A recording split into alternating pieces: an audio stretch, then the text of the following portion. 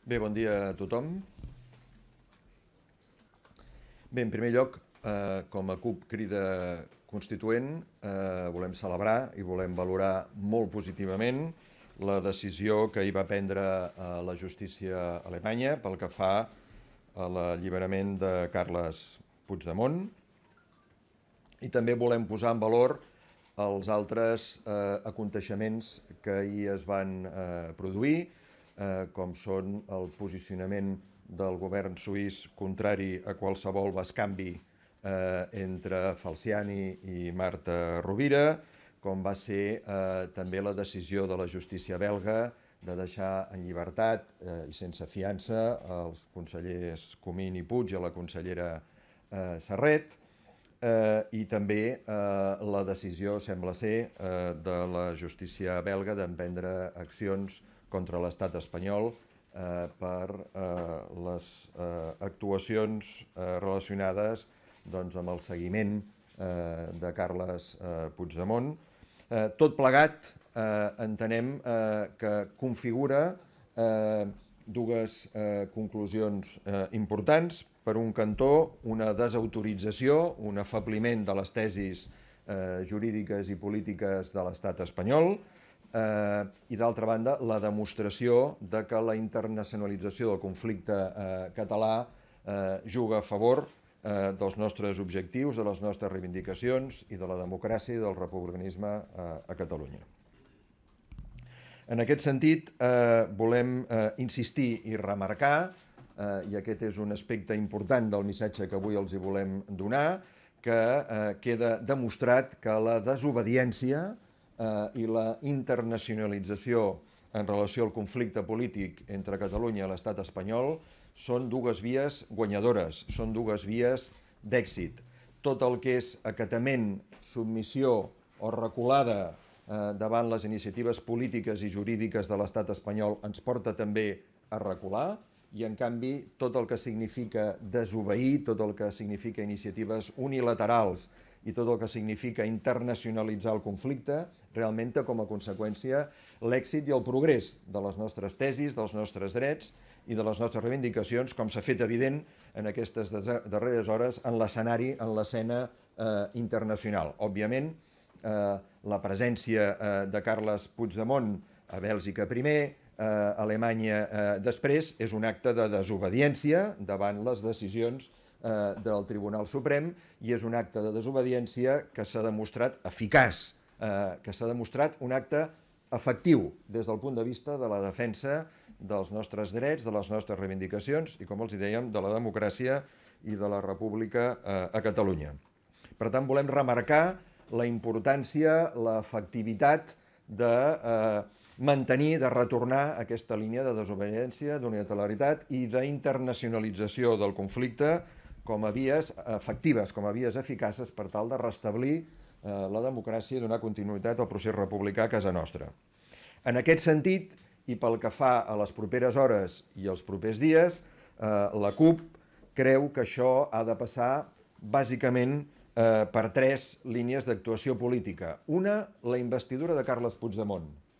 L'altra, el desenvolupament des del nou govern de eh, polítiques nítidament republicanes. I, per últim, continuar i mantenir, per una banda, la internacionalització del conflicte i, per una altra banda, la mobilització popular en una línia de desobediència civil no violenta. La investidura de Carles Puigdemont perquè avui per avui és l'únic candidat que representa veritablement un embat democràtic a l'Estat que no només respon a la sobirania popular expressada a les urnes el 21 de desembre, sinó que respon a la reivindicació bàsica de sobirania del nostre Parlament davant de l'estat espanyol i davant dels seus tribunals. Cap altre candidat avui representa aquest embat. Qualsevol altre candidat avui per avui no representaria altra cosa que un intent d'adaptar la investidura a la legislatura eh, a la legalitat de l'estat espanyol, al marc constitucional i estatutari. I, per tant, nosaltres, a la vista dels fets, no només a la vista dels nostres objectius polítics, sinó a la vista dels fets en les darreres hores, crec que es demostra i es reforça la tesi de que precisament la via eficaç és la via eh, de la defensa de la sobirania del nostre Parlament. I avui per avui només Carles Puigdemont representa aquest eh, embat democràtic eh, amb l'Estat. Cap altre eh, candidat ho representa en aquests moments. Eh, pel que fa a les polítiques de materialització de la república que haurien de eh, sorgir d'aquest nou govern, investit i presidit per a Carles Puigdemont, haurien de ser, per exemple, i per començar, la restitució, la reaplicació, eh, la reaprovació en seu parlamentària de totes aquelles mesures legislatives que en l'anterior legislatura el nostre Parlament van prendre en, en matèria fiscal, eh, social, mediambiental, d'igualtat d'oportunitats, etc i que van ser considerades inconstitucionals pel Tribunal Constitucional a instàncies del govern. Aquest seria un petit exemple, però significatiu, de que aniríem en el bon camí. I per últim, continuar amb la internacionalització del conflicte, continuar eh, convertint el conflicte democràtic entre Catalunya i l'estat espanyol, convertint el conflicte del nostre dret a l'autodeterminació en un conflicte eh, internacional, perquè és evident que serà en una escena de concertació internacional on aquest eh, conflicte s'acabarà resolent de forma eh, favorable. Bé, eh, aquest és el plantejament bàsic eh, que us volem fer en aquesta eh, compareixença. Eh, eh, insistir en això, insistir en que la via de la desobediència, la via de la unilateralitat i la via de la internacionalització s'estan demostrant eficaces i, en canvi, no són eficaces ni són efectives totes aquelles vies que representen claudicacions, passes enrere o intents d'adaptació o d'acatament a, a, a, la, a la ingerència antidemocràtica de l'estat espanyol eh, a través de la judicatura. Tot allò que sigui donar corda i donar curs a aquesta judicialització de la política, tot allò que sigui donar corda, donar curs a aquesta absència de separació de poders, aquest instrument eh, que fa servir l'estat espanyol de la justícia per tal d'evitar l'enfrontament polític i intentar judicialitzar-lo, eh, creiem que no ens portarà enlloc. El que hem de portar al terreny és a la política i portar-lo a la política avui per avui vol dir portar-lo tant aquí com a fora al terreny de la desobediència de la unilateralitat com els fets estan demostrant. Bé, per part nostra, eh, res més que no sigui la resposta a les vostres eh, preguntes. Sí, eh, entenc per tant pel que diu que si avui el truca el senyor Torrent i li proposa Jordi Sánchez com a candidat a la presidència, eh, la CUP mantindrà eh, les quatre abstencions? Eh, bé, el, el senyor Torrent ja s'ho deu imaginar, eh, ja ho deu saber el que li direm, primer perquè no és nou, eh, ho hem repetit eh, reiteradament, en segon lloc, perquè aquest ple no es convoca fruit de cap acord amb la CUP. La CUP no ha participat de cap acord, de cap consens, de cap concertació perquè eh, es convoqui eh, aquest ple. Eh, per tant, eh, la nostra resposta ja, ja, se la poden, eh, ja se la poden imaginar. Eh, avui per avui, eh, la CUP està disposada a investir immediatament a Carles Puigdemont perquè és l'únic candidat que representa aquest embat democràtic amb l'Estat. I els fets ens estan donant la raó. Els fets ens estan donant la raó. El que ha passat en les darreres hores a nivell internacional reforça aquesta opció, legitima encara més eh, aquesta opció que la CUP, i no només la CUP estem defensant, avui per avui, la investidura de Carles Puigdemont és la posició majoritària en el moviment social, en el moviment popular independentista republicà al carrer. Avui, el sentit comú majoritari en el moviment republicà reclama això. No entenem per què els partits independentistes volen emprendre una línia que no té res a veure amb el que reclama la societat civil. No ho entenem. En tot cas, nosaltres no ens en fem eh, partícipes eh, ni còmplices. Cap altre candidat avui representa aquest embat. Qualsevol altre candidat és un intent d'adaptació, d'adequació a la legalitat espanyola, a la legalitat constitucional i estatutària. I l'única manera d'obeir el mandat de l'1 d'octubre i del 21 de desembre és que el primer acte d'una legislatura, que és l'acte d'investidura, sigui un acte de sobirania. I avui per avui, eh, fer un acte de sobirania vol dir fer-lo des de la sobirania del Parlament sense intentar buscar adequacions a la legalitat espanyola com eh, han representat els altres candidats que s'han posat sobre la taula. Per tant, a ningú ha de sorprendre la nostra posició. Tanmateix, i com vostès saben, per solidaritat antirepressiva eh, davant de qualsevol altre candidat o candidata que no sigui Carles Puigdemont, la CUP donarà quatre abstencions. Sí, és que per contra el Sartadí als matins de TV3 deia que sí, que hi hauria un acord a tres entre Junts per Catalunya, Esquerra i la CUP per investir Jordi Sánchez. Per tant, com estan les negociacions amb... Aquest acord no existeix. Eh, crec que va ser eh, dimecres que se'ns va informar, se'ns va comunicar eh, la intenció d'anar a una investidura de Jordi Sánchez. La nostra resposta va ser nítida, quatre abstencions. Eh?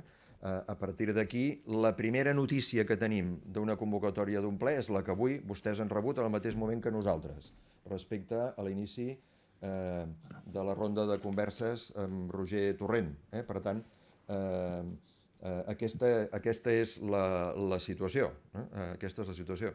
Eh, en canvi, si avui es produís, o la setmana que ve, eh, una ronda de consultes per investir Carles Puigdemont, doncs els quatre vots favorables, els 4-6 de la CUP, eh, estarien garantits. Eh, per què eh, aquest ajornament? Per què aquest buscar altres vies que no sigui la que porta el sentit comú majoritari en el moviment republicà, la que ens està donant la raó des del punt de vista internacional? Eh? Eh, per què no eh, apostar per la tesi dominant, per la tesi forta, eh? que és la de la sobirania del Parlament, la del resultat electoral, la que ens estan avalant a nivell internacional, eh, la que ens està donant la raó a l'opinió pública a nivell internacional. Per què no? Doncs no ho entenem, però això els han d'explicar els altres partits polítics, nosaltres no, no podem fer-ho. Sí, tenint en compte que Puigdemont ahir a la seva carta també apostava per la investidura de Sánchez, eh, tenint en compte les mesures cautelars dictades per la ONU per fer valer els seus drets polítics i que vostès també aposten per la internalització, eh, no veuen aquesta via Sánchez una mica també apostant per aquesta via d'internalització per la que volen? La via, per pressionar, eh? La via eh, Sánchez és una via per intentar fer una investidura adequada a llei en el marc constitucional i estatutari. Això és així. Mm? Eh, I en tot cas és l'intent de que eh, la iniciativa de Nacions Unides reforci aquesta via, és a dir, de que eh, realment es pugui eh, fer una investidura que l'Estat eh, reconegui legalment. Aquesta és la via, la via Sánchez. Nosaltres, òbviament, no tenim res en contra d'en Jordi Sánchez, al contrari. Eh? El president de l'ANC és una persona que està a la presó acusada de rebel·lió, eh, la seva trajectòria independentista, no hi tenim res en contra, al contrari, i per tant tota la nostra solidaritat i tot, el nostre eh, suport eh, a nivell eh, antirepressiu, eh, evidentment. I ja vam dir que nosaltres eh, aquesta posició d'abstenció no és perquè sigui en Jordi Sánchez, ja va ser en Jordi Turull, i serà en qualsevol candidat que sorgeixi d'un intent de buscar el pacte amb l'Estat, la concertació amb l'Estat, i per tant de que el Parlament renuncia a la seva sobirania, que el Parlament traeixi l'esperit de l'1 d'octubre del 21 de desembre per tal de buscar una solució que sigui enquadrable en el marc jurídico-polític espanyol. Perquè del que es tracta és d'una ruptura amb el marc jurídico-polític espanyol. Això és el que va voler la gent l'1 d'octubre i el 21 de desembre. Per tant, malament començarem la legislatura si el primer acte, que és el de la investidura, ja s'adequa al marc jurídico-polític. Això no ens porta un escenari republicà, ens porta un escenari clarament autonomista des del primer moment. Tanmateix, insisteixo, i vull posar un valor, la CUP com a solidaritat antirepressiva, com un marc de solidaritat antirepressiva eh, en el conjunt del moviment independentista, dona quatre abstencions. I, per tant, el joc resta obert, el joc polític resta obert a altres, eh, a altres solucions que puguin buscar els, els, els partits sobiranistes, Esquerra en aquest cas, i Junts per Catalunya, en tenen d'altres. Insistiran en oferir-se per entrar a la mesa per permetre les possibles delegacions de vot? Si del que es tracta és de facilitar la investidura de Carles Puigdemont, sí. Si del que es tracta és de facilitar la investidura de Carles Puigdemont, si algú en la mesa del Parlament eh, té dificultats per assumir aquest embat o aquest repte, eh, la CUP està disposada a, eh, entrar a la mesa del Parlament per assumir aquest embat i per assumir aquest repte ja ho hem dit, si del que es tracta és de fer autonomisme, no podran comptar amb la CUP. Si del que es tracta és de eh, dur a terme aquesta ruptura democràtica amb l'estat espanyol i de tirar endavant la república, començant per la investidura, si del que es tracta és d'això, la CUP està disposada a assumir totes les responsabilitats amb totes les conseqüències i sense límits, començant per formar part de la mesa. És a dir, perdó, aquí, la situació pot ser semblant a la que va passar amb Jordi Turull, una investidura fallida que no va sortir per les seves quatre abstencions. Això sembla. Si aquest és el, el marc que es torna a repetir ara, mmm, ja sé que he dit abans que no sap per què ho fan, però mmm, alguna raó deuen pensar que, que tenen, no? Francament costa trobar-la, eh, perquè eh, convocar mm, eh, dos plens eh, sabent eh, que no seran exitosos mm, realment, eh, des del punt de vista polític, és absolutament incomprensible.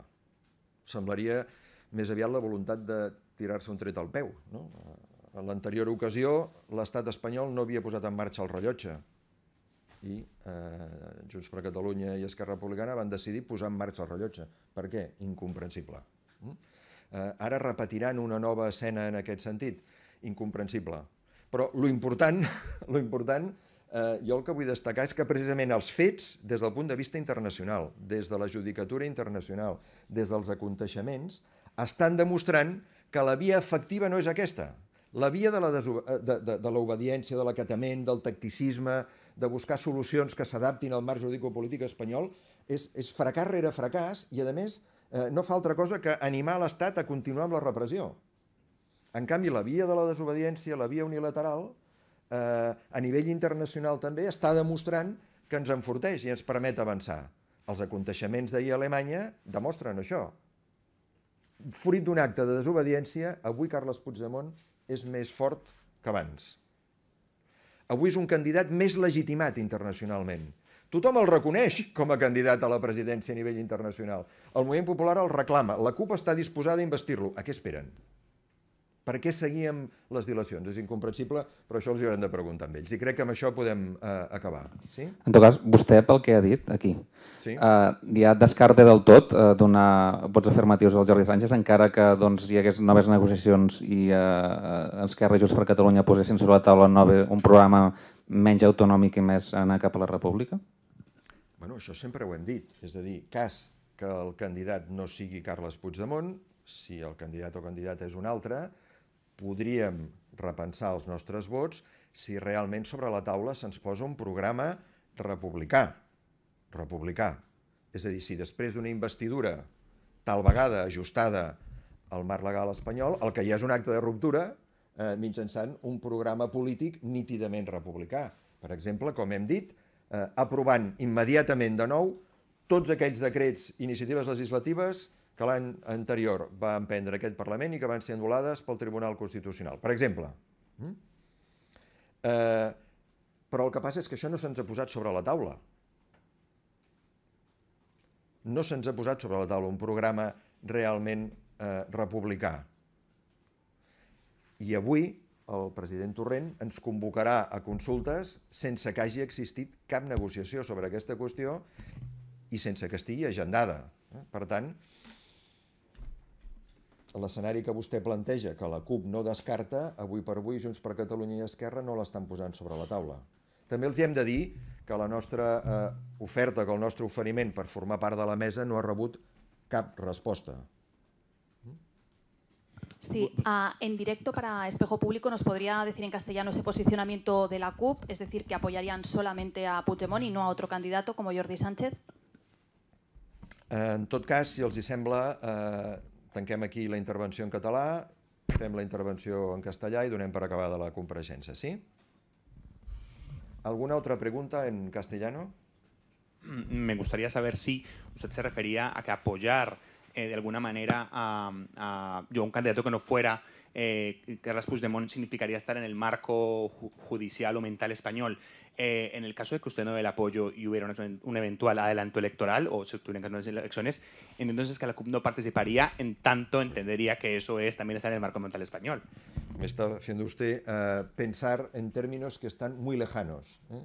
Uh, hoy por hoy... Quedan, la... dos, quedan dos meses para unas elecciones, ver las Cortes si no hay un, un presidente. Hoy por hoy, tal como está la situación política en Cataluña, dos meses es una eternidad. Pueden pasar muchísimas cosas. Esta tarde puede cambiar de nuevo el escenario, mañana también. En todo caso, uh, dejarle claro que unas nuevas elecciones no es el objetivo político de la CUP. El objetivo político de la CUP es obedecer lo que decidió el pueblo el 21 de diciembre. Y el pueblo, el 21 de diciembre, mayoritariamente decidió que quería un Parlamento mayoritariamente republicano, un gobierno republicano y seguir adelante con el mandato del 1 de octubre y del 27 de octubre. Por tanto, eh, provocar unas elecciones está uh, en las antípodas de lo que en estos momentos uh, pretende la CUP, pero también está en las antípodas uh, sostener, legitimar o validar un retorno al marco autonómico, desde luego. ¿Sí? Sí, en castellano, por favor, si nos podría decir el posicionamiento de la CUP en el que solamente van a apoyar a Puigdemont, que es lo que comentaba antes. Pues bien, la CUP eh, Crida Constituent mantiene eh, su eh, posicionamiento favorable a investir y lo más inmediatamente posible a Carles Puigdemont como presidente. Ya esta era nuestra posición antes de la decisión judicial de Alemania de ayer y hoy por hoy entendemos que la justicia alemana no hace otra cosa que reforzar esta tesis, reforzar esta posición. Hoy Carles Puigdemont está más fuerte jurídicamente y políticamente hablando que anteayer. Uh, hoy Carles Puigdemont está más legitimado todavía, uh, y esto es una obviedad a nivel internacional, para ser el, el, presidente. Con lo cual, si de lo que se trata es de investirle, uh, de investirlo, los cuatro votos de la CUP están garantizados. Gracias. ¿Y el escenario de Jordi Sánchez? Cualquier otro candidato o candidata que se presente, hoy por hoy, eh, y por solidaridad antirrepresiva eh, recibirá cuatro abstenciones de la CUP que eh, permiten pues buscar otro tipo de soluciones para, para, conseguir hacer efectiva esta investidura, pero sin la colaboración, sin la implicación directa de la CUP, puesto que la CUP considera que hoy por hoy es solo Carles Puigdemont el candidato que representa Uh, un, verdadero acto de soberanía de nuestro Parlamento. Eh, es el candidato que representa uh, lo que fue la voluntad popular mayoritaria el 21 de diciembre y lo que representa pues, realmente un acto de soberanía de nuestro Parlamento frente a las injerencias antidemocráticas del Estado español. Hoy por hoy cualquier otro candidato que no sea Carles Puigdemont lo que significa es un intento de adecuación al marco jurídico-político español que nosotros creemos que no es el buen inicio. Una, una, legislatura republicana tiene que iniciarse con una investidura republicana. ¿Y ese acuerdo del que hablaba el Sartadi, que ya estaba cerrado, pactado en una segunda vuelta con Jordi Sánchez? Es inexistente. Nosotros se nos informó el miércoles de la intención de uh, ir a una investidura de Jordi Sánchez uh, y hasta hoy uh, que se nos ha convocado por parte del presidente del Parlamento para ronda de consultas, primera, primera noticia. Gracias.